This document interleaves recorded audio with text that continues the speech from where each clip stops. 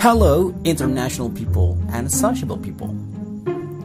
Selamat datang di channel favorit kamu buat belajar bahasa Inggris. Jason punya materi menarik nih kali ini.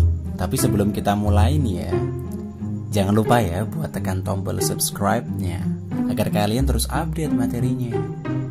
Oke? Okay? Ya, pada video kali ini kita akan belajar mengenai sesuatu yang baru dan mungkin ini paling baru dari video-video yang pernah kalian tonton dalam belajar bahasa Inggris. Kalian mau bicara bahasa Inggris seperti orang luar negeri kan? Kali ini Jason akan bagikan cara pengucapan huruf yang benar dari A sampai Z. Nah, dengan ini kalian akan tahu cara pengucapan dengan aksen bahasa Inggris. Pastikan kalian tirukan ya tips yang Jason berikan. Yuk, kita langsung mulai saja. Check it out. A. A. Pada dasarnya, cara pengucapan huruf A dalam bahasa Inggris adalah A. A. Contohnya nih, pay, pay, raise, raise, late, late, take, take. Ya, berbeda ya cara pengucapan. Jadi ada kayak uh, turunnya begitu. A. Nah, terkadang A bisa diucapkan juga A. Contohnya car, car, bar, bar, star, star. Kadang juga A bisa diucapkan E a, ingat ya, a. For example, ago, ago, better, better. This is not quite better. Enemy, enemy. Lalu, huruf A bisa juga diucapkan E.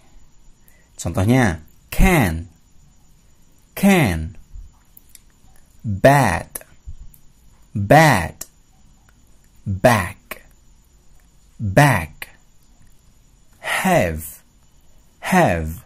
Nah, seperti itu. Huruf selanjutnya B. Tidak ada yang berbeda ya. Stab, stab, rubber, rubber, above, above, beneath, beneath. Cabin. Cabin. Huruf C.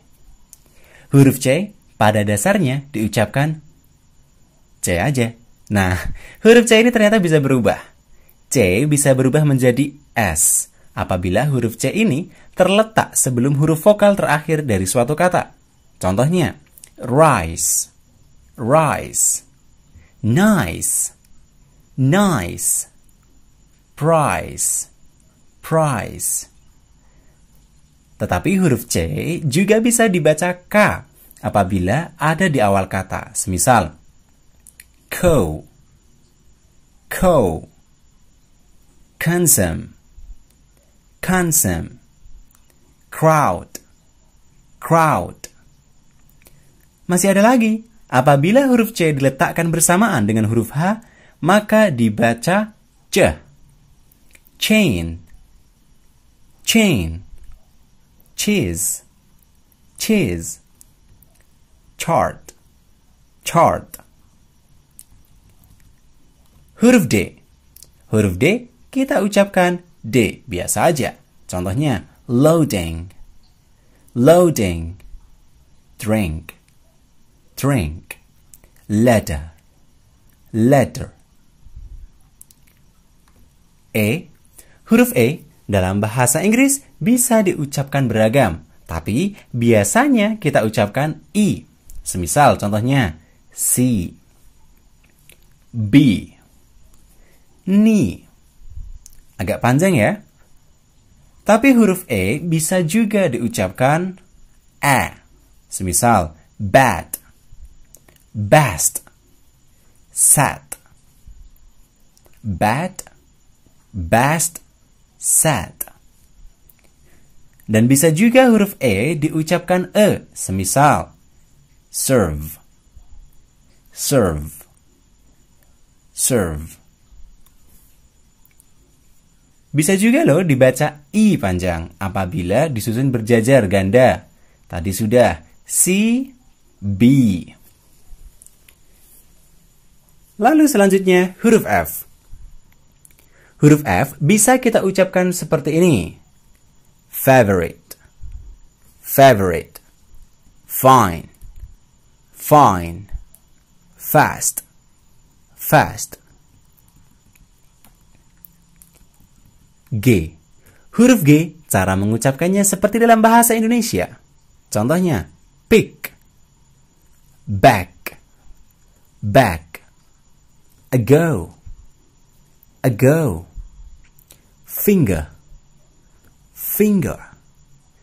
Tetapi huruf G juga bisa diucapkan J, semisal page, page, garbage, garbage. Huruf H. Kita sering diajarkan cara mengucapkan huruf H adalah H, ya enggak? Tetapi terkadang huruf H diucapkan seperti dalam bahasa Indonesia. Misal, hobby, hobby, home, home, horse, horse. Terkadang pula Huruf H tidak diucapkan. Misalnya, hour. Hour. I've been waiting for you for an hour. Huruf I. Sangat banyak sekali cara mengucapkan huruf I dalam bahasa Inggris. Pertama, huruf I kita ucapkan I. Misalnya, sit, sin, kill. Kedua, Huruf I bisa kita ucapkan E. Contohnya, bird, bird, birth, birth. Huruf I kita ucapkan I. Misalnya, fine, fine, find, find, dine, dined. Huruf J dalam bahasa Inggris, huruf J bisa kita ucapkan sama seperti dalam bahasa Indonesia. Contohnya, jungle, jungle, joke, joke, I hate your joke, July, July. Huruf K. Huruf K sama pengucapannya seperti bahasa Indonesia.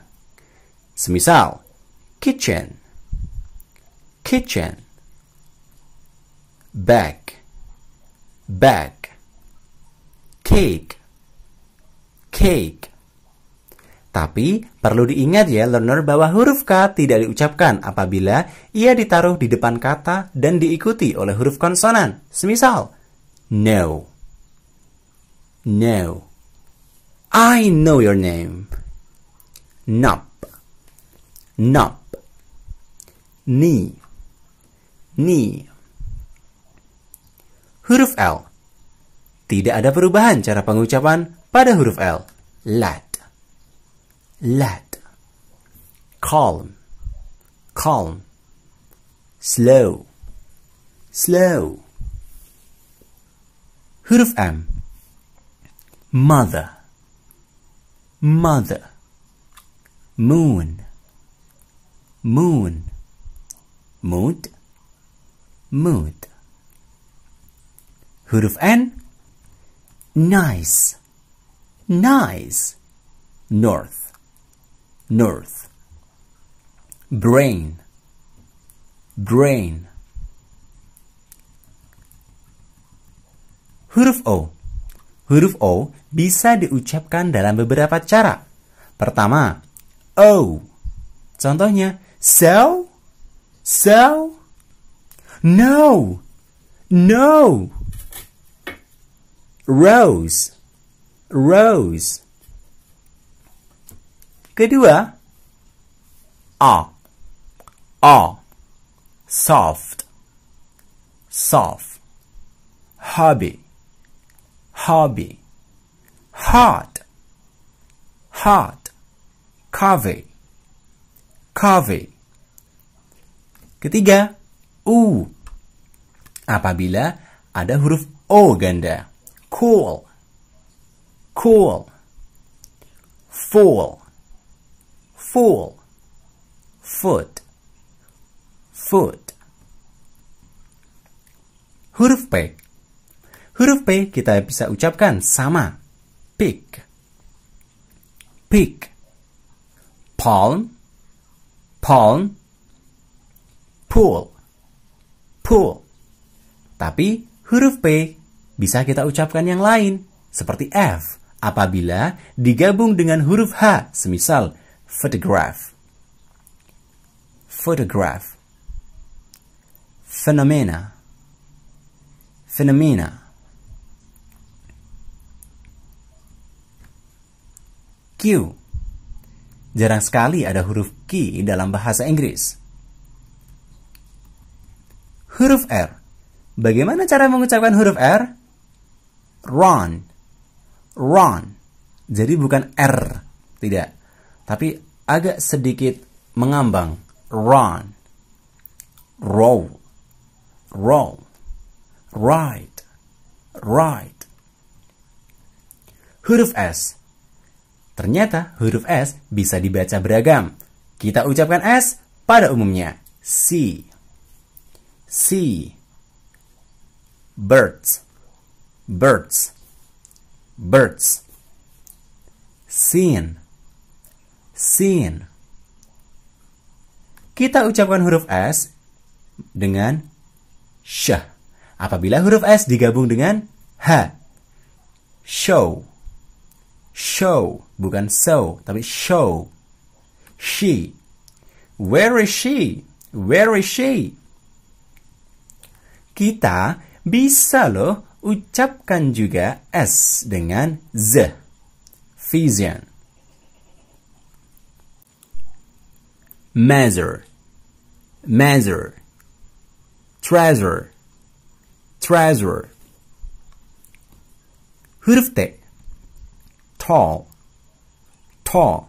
Jadi ada sedikit explosion atau ledakan udara.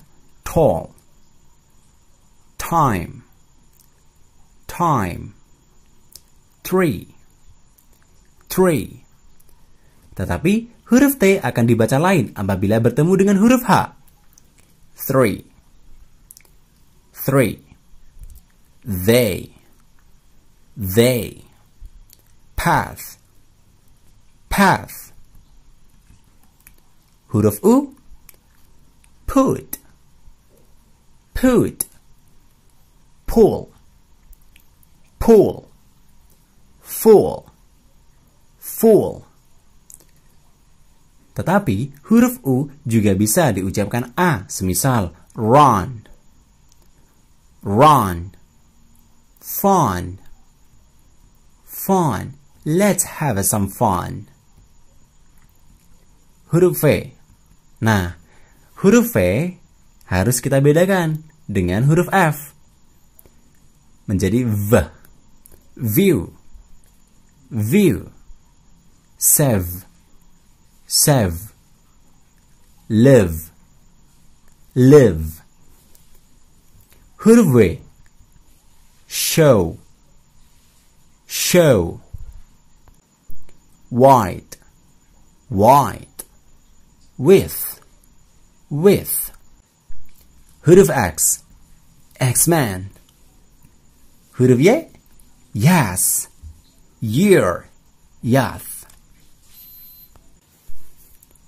Yes. Year. Yath. Huruf Z. Huruf terakhir. Zoom.